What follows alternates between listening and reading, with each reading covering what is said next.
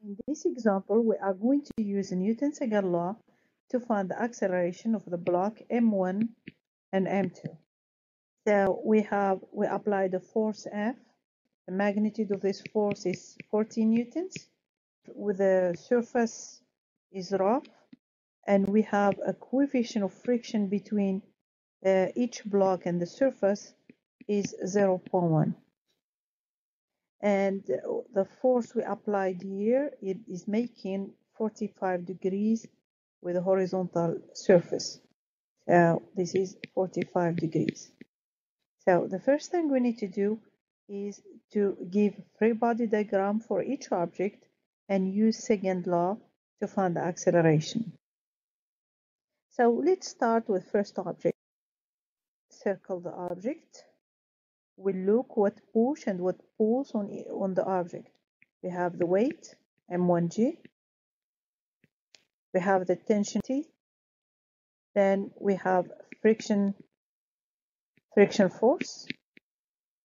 Because if we are pulling the object to move in that direction, the friction force will be against the motion. And we have the normal force from the surface.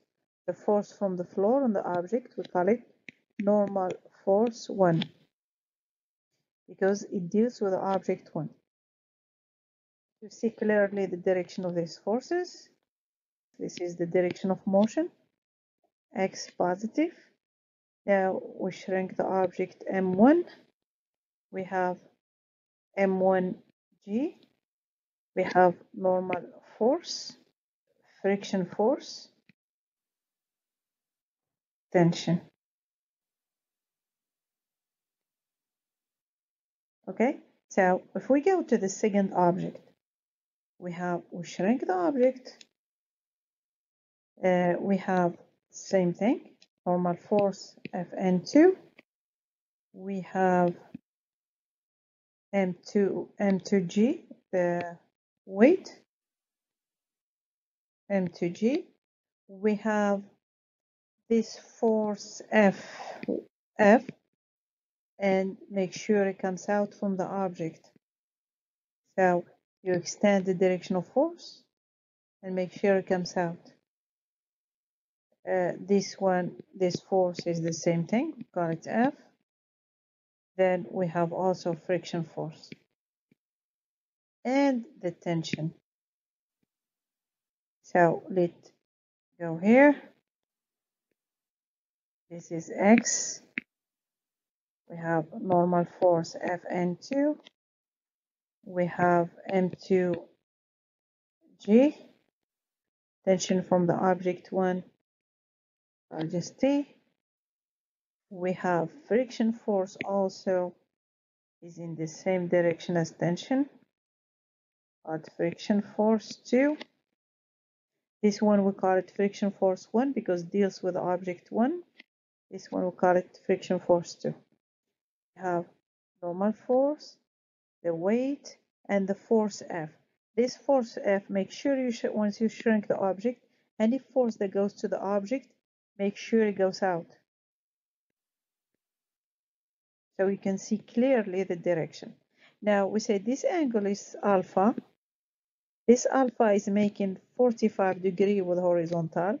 If this is the force, this it was alpha that means this angle also is alpha. Let's bring it here. This is the box. We shrink it. We said the force. If we shrink this, this this surface will be on the top here. So and this angle alpha. This is will be alpha.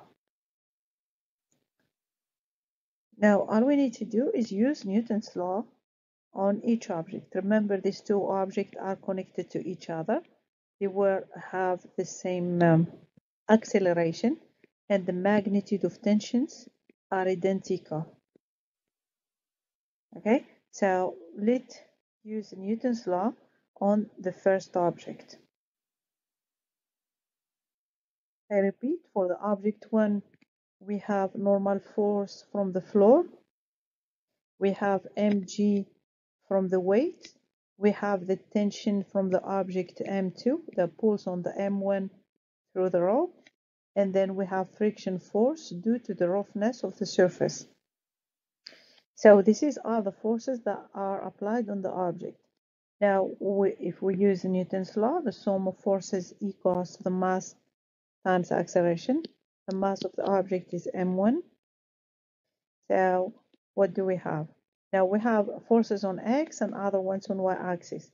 That means the sigma f in terms of vectors, it will have coordinate on x, it will be sigma fx and sigma fy. Now sigma fx equals to the mass times acceleration and sigma fy equals uh, 0. Why? Because the object is moving on the surface, is moving on x direction, it doesn't fly, there is no motion in vertical direction, just motion is on the ground. So for fx, this is our direction of motion is x positive. That means any force that contribute to the motion will be positive, will be in the same direction as x. The one that opposes the motion is in opposite direction, it's negative. In this case, on sigma fx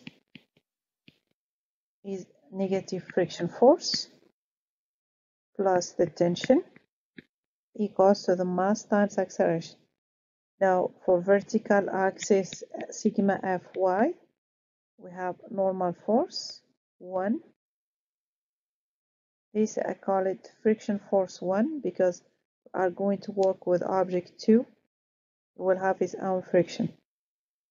So Fn1 negative m1g equals to this is capital M1. It will be M will be 0 because we said there is no motion in vertical direction. And this mass is capital M.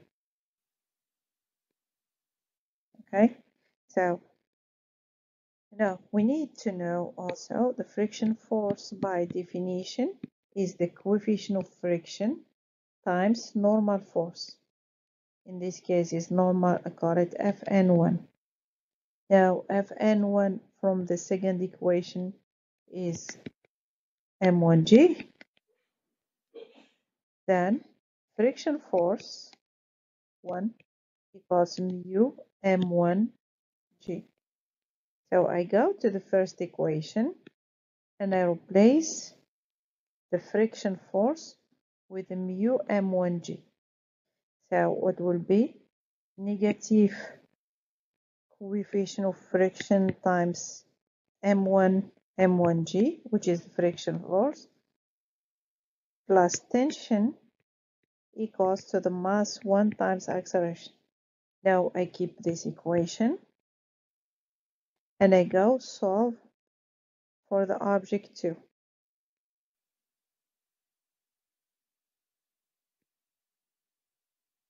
For the object M2, we have a force F. This force F is making 45 degree with the X positive we have normal force Fn2, friction force 2, tension from the object 1, weight m2g. Now we do the same thing, but here for the object 2, we have this force that has two coordinates on x. We call it fx and coordinate fy. So f that will have two coordinates. Fx it will be f cosine of 45 and for fy it will be f sine of 45 degrees. But remember it's going downward. This is the y uh, this is y negative and upward is y positive so the sum of forces the sum of forces applied on the object 2 equals to the mass 2 times acceleration. Again, this force will have coordinate means we have sigma f on x and sigma f on y axis. This force on f, uh, we have fx, we said is f, it will be f cosine of 45 degrees minus friction force minus tension minus friction force. Okay, because these two forces are against in the direction of motion, the tension and friction force 2. This is friction force 2. Now, for vertical axis, we have normal force Fn2, this force Fn2. We have M2G downward is negative, and then also we have Fy is downward is negative also. It will be negative F sine of 45 degrees. We said Fy, which is the coordinate of the force F on y-axis will be negative f sine of 45 degrees. Remember the sigma of these forces equals to the mass times acceleration. Let's put there here f cosine of 45 degrees minus tension minus friction force uh, of the object 2 equals to the mass 2 this is mass 2 times acceleration. I just put back here this equation. This one, I put it here. Now the second equation, normal force 2 minus m2g minus f sine of 45 degrees equals to 0. Why? Because the object is moving on horizontal surface. It doesn't fly. There is no uh, vertical motion. Then there is no acceleration in vertical direction. Friction force 2 will be the coefficient of friction times normal force on the object 2. Uh, now we need to know this normal force, what it is. What it is. This normal force Fn2 will be just m2g plus f sine of 45 degrees. Okay, uh, we just put the equations we have now. We have the equation from the object m1 the normal force Fn2 equals this term, then we can just replace the friction force 2 by the coefficient of friction times normal force. So what we have friction uh, friction force uh, friction force 2 this term by definition is the coefficient of friction times the normal force so the normal force Fn2 is this term. Uh, we'll replace uh, Fn2 with this term. So it will be m2g plus f sine of 45 degrees. So remember the objective is to find the acceleration. Now we know the force. We have the force is 40 newtons. What we don't know is the acceleration and tension. Now if we put this equation, and these ones together and I add them to each other. And also we need to replace this friction force to here. Let's go to the next page. So we will have some space. Okay so we put these two equations together. We said the first equation from the object one using Newton's law. We have we found minus mu m1g plus tension from the object 2 equals to the mass of the object 1 times the acceleration.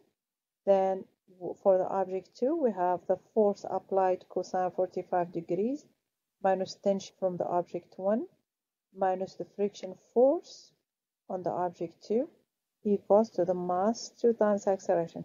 And we said the friction force on the object 2 is the coefficient of friction mu times normal force. This normal force, we found it from the equation on vertical axis, uh, we said uh, normal force equals to mg, m2g plus f sine of 45 degrees. Now, if I add this equation 1 to this equation 2, if I add them to each other, what we will have? The tension vanishes. Now, if I add these terms, what, what we will have? We have f cosine of 45 degrees minus mu m1g minus mu factor of m2g plus f sine of 45 degrees equals to the mass 2 times acceleration plus m1 times acceleration. m2 plus m1 times acceleration. Then also we can put f with f's and then mu g together if we want to.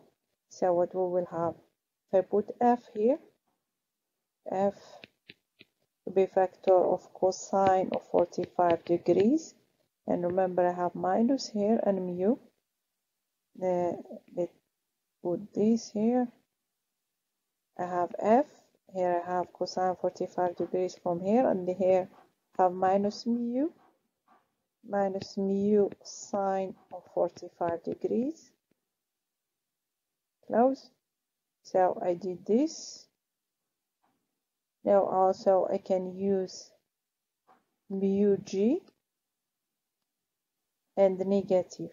And then this I put plus in the front here and then also I can use negative mu g mu g times m1 because I have m1 here and I have m2 here plus m2 the acceleration will be just f times cosine of 45 degrees minus mu sine of 45 degrees uh, minus mu m mu g.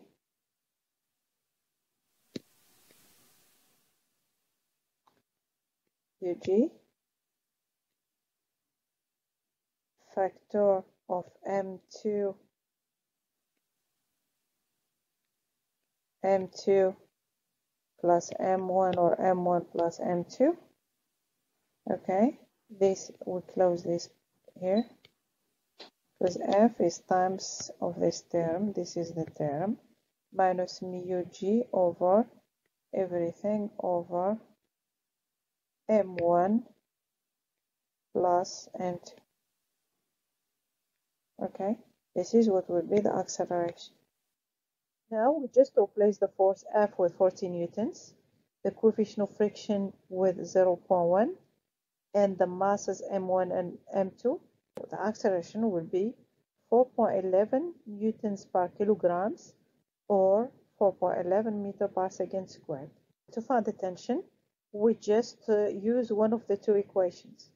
From the object one, we have this equation. The tension will be just m1 acceleration plus mm, the coefficient of friction times the mass 1 times gravity.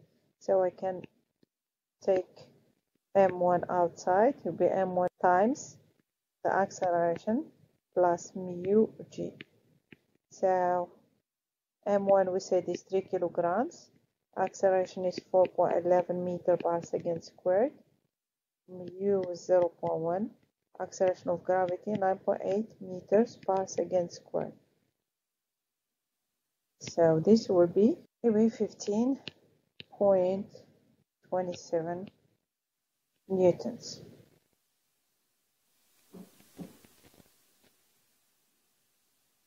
Okay.